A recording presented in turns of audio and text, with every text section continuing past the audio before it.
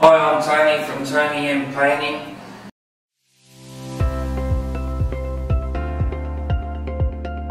Well, I really like it. It's, it's very sturdy, it's easy to click in, and particularly the handle feels nice and smooth. It's very solid, and it's got a really nice balance to it for rolling.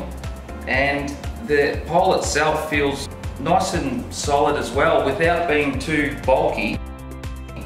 And it's just a really nice action.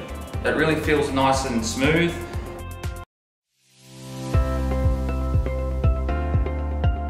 Yeah, it's simple really. There's just one button on the top here that just releases the handle from the pole and that clicks in again.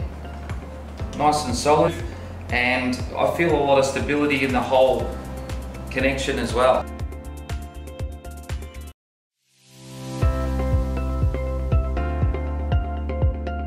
That's another great feature. In the handle here is a little gadget that just clicks straight on there. And then that's got a little thread on it. And then that just you put your traditional frame on there. And away you go